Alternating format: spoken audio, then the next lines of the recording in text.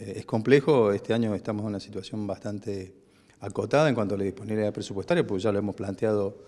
eh, desde la definición del presupuesto de la universidad. Nosotros estamos dentro de un grupo de universidades que estamos por debajo del 32%, que fue un mínimo que en algún momento acordó el CIN en la propuesta al Ministerio, que ninguna universidad debería estar por debajo del 32%. Sin embargo, esto no es así, somos más de siete universidades que estamos por debajo este, de ese valor. Eh, nosotros estamos con un 25%, hay algunas que están con un 20% apenas. La situación más drástica tiene que ver justamente con gastos de funcionamiento, cómo van creciendo por caso los servicios y hay una acotada, una acotada disponibilidad de recursos para gastos de funcionamiento. Pensemos que nosotros tenemos hoy el mismo presupuesto de funcionamiento del año 2017. Entonces, con todo el incremento de costo, con el incremento de servicios que ha habido hasta ahora y con los que van a seguir habiendo, porque es claro que van a seguir los incrementos en los servicios, sobre todo el tema de, la luz, este, el tema de gas, que de alguna manera son, el tema de la luz para nosotros es un gasto importante, el tema de internet,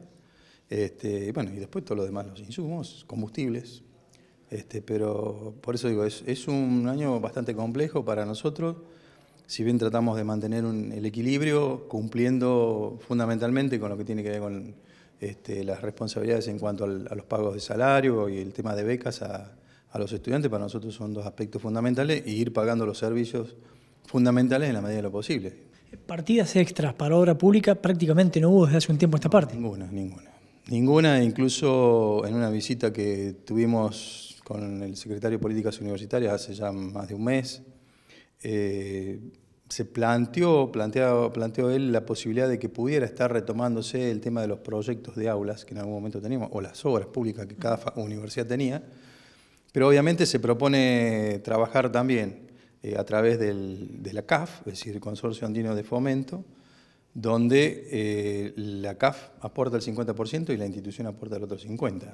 Eso significaría que tendríamos que aportar el 50% de la obra, una obra que en su momento, el año fines de 2017, estaba tasada en 34 millones, hoy es una obra de más de 90 millones.